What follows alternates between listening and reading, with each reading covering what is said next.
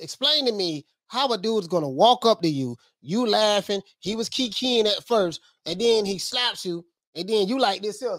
You like, whoa, you keep your pose with your hands behind your back. Whoa.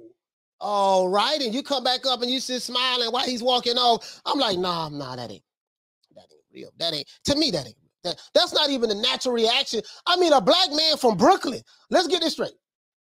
Let's let's let's let's let's let's, let's call it the way we see it. A black man from Brooklyn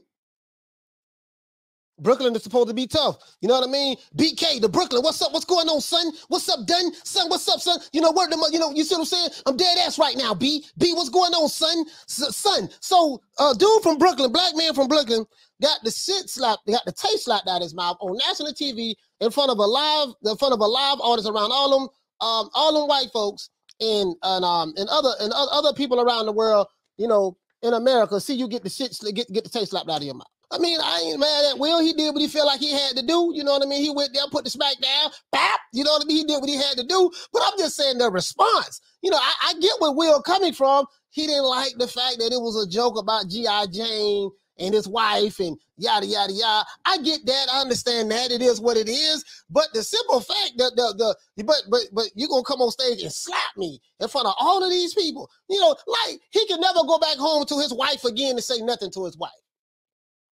Just imagine what the conversation would be like. He can't even go home and say nothing to his wife. Yeah, you know what I mean? All right, now I'm gonna get Will.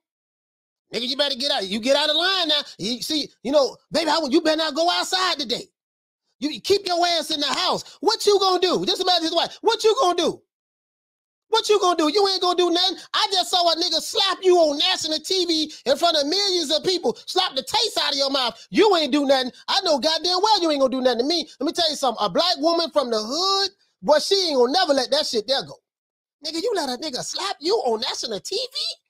Yeah, but baby, but you know, I said a joke about his wife about G.I. Jane and that haircut. I wouldn't give a damn.